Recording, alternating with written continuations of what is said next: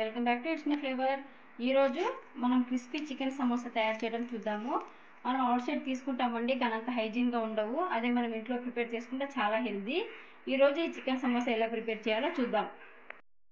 chicken samosa చేయడానికి కావాల్సిన ingredients చూద్దాము మూడు వందల గ్రాములు చికెన్ తీసుకున్నాము చికెన్ చిన్న ఇస్తే కిమా కొట్టించుకోవాలి రెండు కప్పులు మైదా పిండి డీప్ ఫ్రైకి సరిపడా oil three medium size onions cut చేసుకున్నాము కొంచెం కొత్తిమీర మూడు పచ్చిమిరపకాయలు తరుగుకున్నాము అల్లం పేస్టు పసుపు చికెన్ మసాలా గరం మసాలా కారం పొడి రుచికి తగినంత సాల్ట్ ఇప్పుడు ప్రాసెస్ స్టార్ట్ చేద్దాం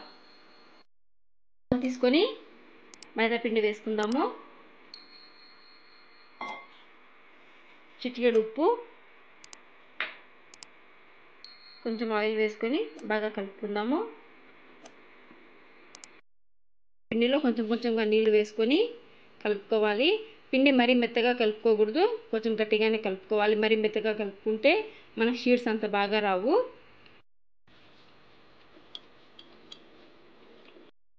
పిండి కలపడం అయిపోయింది మరీ మెత్తగా కాకుండా ఇలా కొంచెం గట్టిగానే కలుపుకోవాలి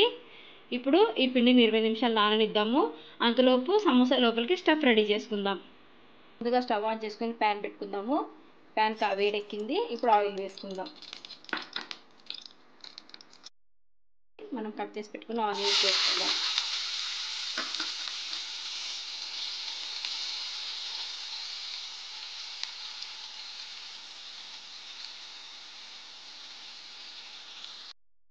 పచ్చిమిరపకాయలు వేసుకుందాం ఆనియన్స్ పచ్చిమిరపకాయలు బాగా వేయించుకోవాలి పచ్చివాసన రాకుండా ఉండేంతవరకు ఇప్పుడు చికెన్ వేసుకుందాం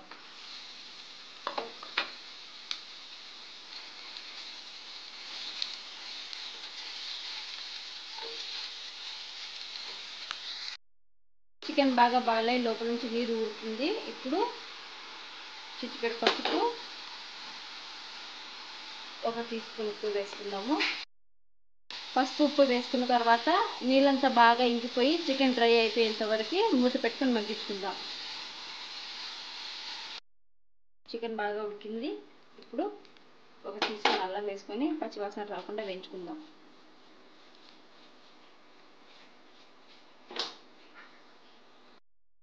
చూడండి చికెన్ కొంచెం కూడా వాటర్ లేకుండా బాగా డ్రైగా అయిపోయింది ఇప్పుడు ఒక టీ స్పూన్ కారం కొంచెం గరం మసాలా వేసుకొని బాగా మిక్స్ చేసుకుందాం చికెన్ చూడండి బాగా వేగిపోయింది ఫైనల్గా సన్నగా తరిగి పెట్టుకున్న కొత్తిమీర వేసేసుకొని స్టవ్ ఆఫ్ చేసేసుకుందాం రెడీ అయిపోయింది కదా మనం రోల్స్ రెడీ చేసుకుందాము మనం తీసుకున్న పిండిని ఇలా చిన్న చిన్న బాల్స్గా డివైడ్ చేసుకుందాము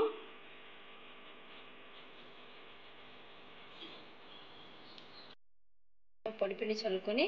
మనం తీసుకున్న పిండి ముద్దలు పెట్టుకొని ఎంత వీలైతే అంత పలచగా రుద్దుకోవాలి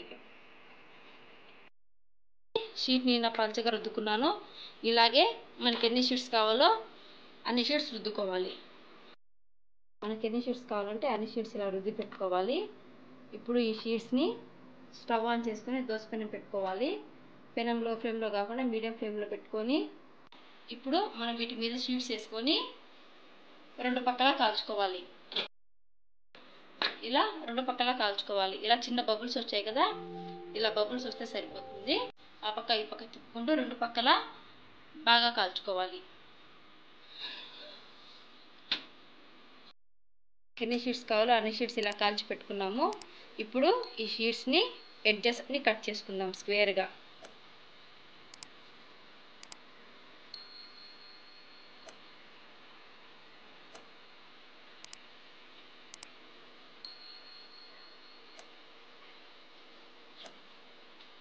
ఈ ఎడ్జెస్ని చిన్న చిన్న పీసెస్గా కట్ చేసుకొని లాస్ట్లో మళ్ళీ ఫ్రై చేసుకుంటే క్రిస్పీ పాపడ్ రెడీ అవుతుంది అది కూడా వేస్ట్ చేయొద్దండి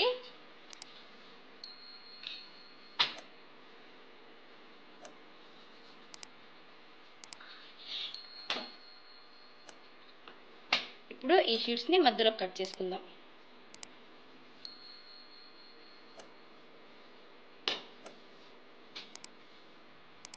చూడండి ఫైనల్గా మన షీట్స్ రెడీ అయిపోయాయి ఇప్పుడు షీట్స్ రెడీ మనకి లోపల స్టఫింగ్ కూడా రెడీ ఇప్పుడు పేస్ట్ రెడీ చేసుకుందాం కొంచెం మైదా పిండిని తీసుకొని వాటర్ వేసుకొని పేస్ట్ లాగా రెడీ చేసుకోవాలి ఇప్పుడు పేస్ట్ రెడీ చేసి పెట్టుకున్నాము మనకి స్టఫ్ కూడా రెడీ అయిపోయింది సమోసా చూసుకుందాము ముందుగా సమోసాని ఇలా ట్రయాంగిల్గా పెట్టుకోవాలి ఇక్కడ మూలలు ఊగిపోకుండా ఇలా పేస్ట్ పూసుకోవాలి దీన్ని మళ్ళీ ఇంకొక ట్రయాంగిల్ చేసుకుందాము చూడండి లోపల ఇలా ఉంది కదా ఇప్పుడు దీని లోపల స్టఫ్ వేసుకుందాం స్టఫ్ ఎక్కువ వేసుకోవద్దు చూసుకొని వేసుకోండి ఇప్పుడు ఇలా తిప్పుకొని ఎక్కడెక్కడైతే మనకు మూలలు ఉన్నాయో ఆ మూలలంతా ఊడిపోకుండా ఇలా మనం తయారు చేసుకున్న పేస్ట్ని పూసుకొని సమోసాని ఇలా క్లోజ్ చేసుకున్నాం సమోసాస్ అన్ని ఇలా రెడీ చేసుకున్నాము ఇప్పుడు స్టవ్ ఆన్ చేసుకొని డీప్ ఫ్రై చేసుకోవడానికి ఆయిల్ వేసుకుందాం ఆయిల్ కాగింది హై ఫ్లేమ్లో లేకుండా మీడియం ఫ్లేమ్లో పెట్టుకొని సమోసాస్ అన్నీ ఆయిల్లో వేసుకోవాలి